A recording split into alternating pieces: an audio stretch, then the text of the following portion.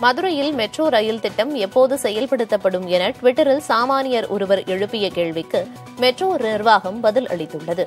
மதுரை மாவட்டத்தில் metro rail திட்டம் எப்போது தொடங்கப்படும் என எழுப்பிய கேள்விக்கு வரைவு சாத்தியக்கூறு அறிக்கை சமர்ப்பிக்கப்பட்டுள்ளதாகவும் அது பரிசீலனையில் இருப்பதாகவும் சென்னை மெட்ரோ ரயில் நிர்வாகம் தெரிவித்துள்ளது.